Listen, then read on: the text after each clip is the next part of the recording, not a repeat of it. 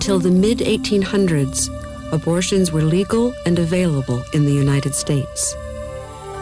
In 1847, the newly formed American Medical Association began a campaign to professionalize medicine by outlawing what it called quackery.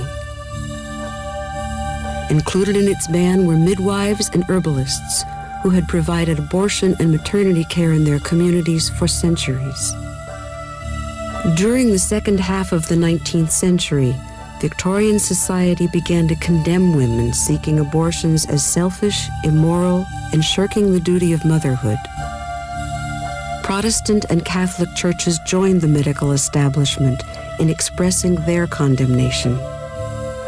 Meanwhile, legislation restricting abortion continued to spread, and by the turn of the century, both birth control and abortion were illegal in most states.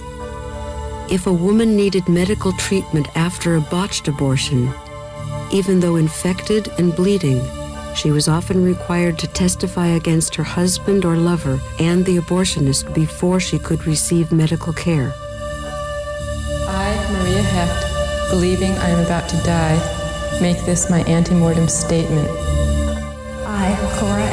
I, Grimes, about to die, make this statement. On the second day of July, 1896, James Dunn, a retail merchant, gave me a packet of calomel. I, Bernetti Parker, am about to die. I went to visit Dr. Poe.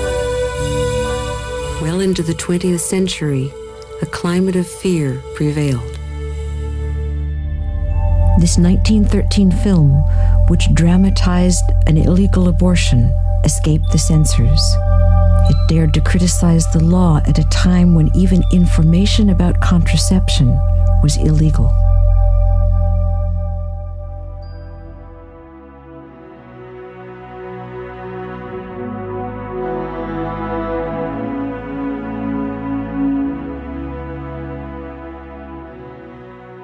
One of the most dedicated activists, Bill Baird, had fought restrictions on birth control at the federal level.